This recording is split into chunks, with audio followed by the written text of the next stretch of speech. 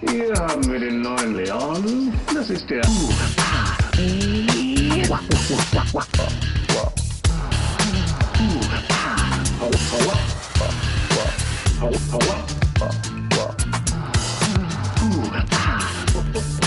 Autoemoción. Autoemoción.